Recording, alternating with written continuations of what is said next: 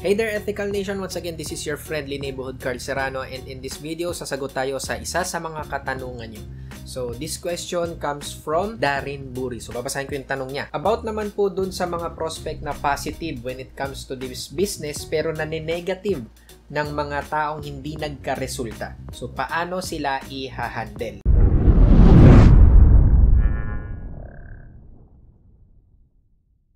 So, maraming salamat dito sa katanungan mo, Darren. So, napakasimple lang nung strategy na ginagamit namin pagdating sa ganitong bagay kasi uh, hindi mo talaga may iwasan yung ganun eh. Meron at meron talaga magne-negative sa kanila. Hindi lang naman yung hindi nagkaresulta, pati na rin yung mga negative pagdating dito sa business natin.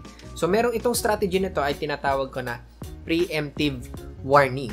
So, nakuha ko talaga to sa isang laro na nilalaro ko which is Final Fantasy um, 13 yata yun, Final Fantasy 13 yata yung nilalaro ko na yun, or 12, o ganun, aliman doon, na preemptive. So, anong ibig sabihin nito? Preemptive meaning, hindi pa nangyayari sa kanila, inuunahan mo na. Advance ako mag-isip. So, kumbaga, advance ka sa pag-iisip. Kumbaga, parang ganun. So, halimbawa, kausap mo yung prospect mo, tapos kino-close mo na yung deal, tapos tuwang-tuwa siya, positive na positive siya. So, ang sasabihin mo lang sa kanya, bibigyan mo siya ng analogy. Okay? Ganun yung ginagawa ko. Halimbawa, natapos ko na yung closing ko, nasabi ko na yung mga dapat kong sabihin pagdating sa business, tapos halimbawa, wala pa siyang pera, kaya hindi siya makapag on the spot, hindi pa siya makapag-pay in sa ngayon, bibigyan ko siya ng analogy. So, ganito lang yung simpleng analogy na ibibigay ko sa kanya. Halimbawa, ang pangalan niya ay si Darin na lang. Halimbawa, si Darin yung kino-close ko.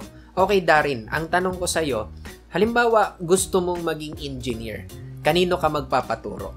Okay? Sino yung dapat mong maging teacher? Letter A, cook.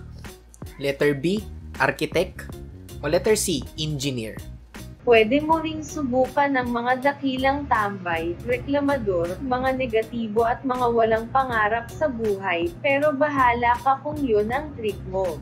So malamang sa malamang ang isasagot mo Darin, 'di ba? Letter C, obvious naman engineer kasi gusto kong mag-engineer eh. Kung gusto kong maging cook, ang pipiliin ko na teacher ay yung cook o yung magaling na cook. Kung gusto ko na maging architect, edi architect yung magiging teacher ko. Ang simple-simple at ang obvious naman ng tanong. Ngayon pagdating sa success, ganun rin. No, kung gusto mong maging successful, kanino ka dapat magpaturo? Sa taong hindi naging successful?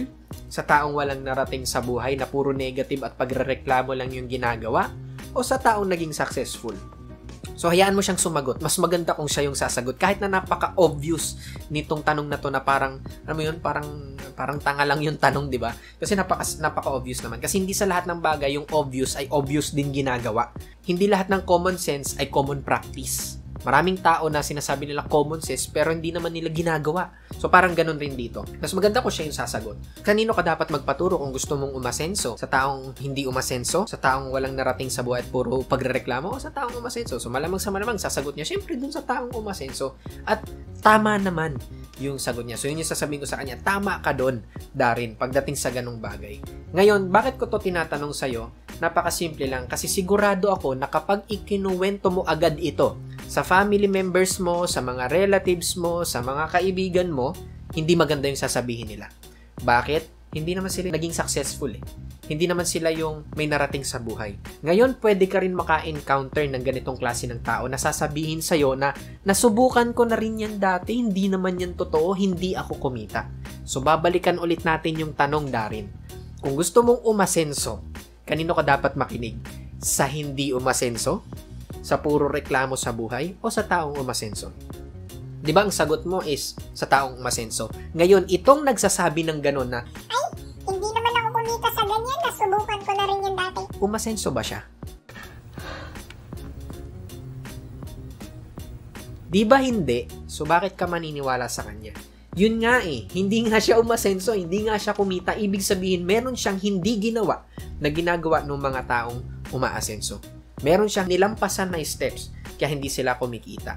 So, bakit ka maniniwala sa kanila? Eh, hindi nga sila kumita. Di ba gusto mong kumita, Darin? Tama ba ako? So, malamang sa malamang, sasabihin ni Darin, oo, gusto kong kumita. So, kanino ka dapat makinig? Uulit-ulitin mo lang yung sinasabi mo sa kanya hanggang sa tumatak sa isipan niya. Ngayon, hindi ito guarantee na hindi na siya maninegative, pwede pa rin siyang manegative. Okay? Pwede, pwede pa rin siya. Kasi very powerful ang pag-negative ng tao. Pero at least, tumatak sa isipan niya yon and kung sakali man naman negative pa rin siya, ito na lang yung isipin mo. Gusto mo ba ng ganong klase ng downline? Yung ang daling ma-negative? No! Gusto mo ba ng ganong klase ng downline na mas naniniwala dun sa mga taong walang narating sa buhay kesa sa maging successful? No! Di ba sigurado naman ayaw mo ng ganon? Kasi kung sakasakali man na mapakasali mo yung ganong klase ng tao, sigurado ako sa magiging journey niya sa negosyo niya, may mga taong kumontra lang sa kanya, iiyak na yan. Magdadrama na yan sa'yo. Eh, hindi sila naniniwala. Hindi, hindi nila ako pinakinggan. Hindi sila naniniwala. Sinasabi nila na scam daw ako. Ganyan. Gusto mo ba ng ganun? Ako ayoko eh. Kaya kapag ka meron akong kinausap, ginamitan ko nitong preemptive warning na to na strategy na tinuturo ko sa'yo, pero na negative pa rin sila, nagpapasalamat na lang ako kasi hindi ko naging downline yun. Ayoko ng sakit ng ulo. Ayoko ng downline na madrama. Ayoko ng downline na iyakin. So yun yung palagi mong iisipin. So I hope malaki na itulong nito sa'yo pagdating dun sa concern mo na kapag nini-negative yung prospect mo na positive na sana, kaso sinisira ng mga negative na tao sa negosyo mo. So kung marami kang natutunan dito sa video na ito, i-click mo lang yung like and i-share mo ito sa iyong mga networker friends o yung mga downlines na alam mong matutulungan nitong video na ginawa ko. Mag-subscribe ka rin dito sa channel and i-click mo yung notification bell para ikaw yung una na ma-notify sa tuwing mayroon akong bagong ina-upload dito sa channel na to. Kung may mga katanungan ka, pwede ka rin mag-comment sa ilalim ng video na ito. Ilagay mo lang yung tanong mo and lagyan mo lang siya ng hashtag itanong mo kay Serrano para malaman ko na gagawin ko siya ng video. So kung wala pang ibang nagtatanong nitong tanong mo, eh gagawin ko siya ng video. Meron rin pala akong ginawang ebook na siguradong makakatulong sa'yo para makakuha ka ng unlimited na prospect para sa negosyo mo. So sa ebook na ito, tuturo ko sa iyo yung mga paraan para mabawasan yung rejections na natatanggap mo sa negosyo mo at bibigyan rin kita ng mga exact scripts na sasabihin mo sa prospect mo para maging interesado sila sa kung ano man yung inaalok mo, halos copy-paste na lang yung gagawin mo. So para malaman mo kung paano maa-access ang ebook na ito, puntahan mo lang yung website na makikita mo dito sa video na ito and then dun mo malalaman kung paano mo makukuha yung copy ng ebook. So once again, this is your friendly neighborhood Carl Serrano. Live, love, and learn. You are born for greatness. So see you next time.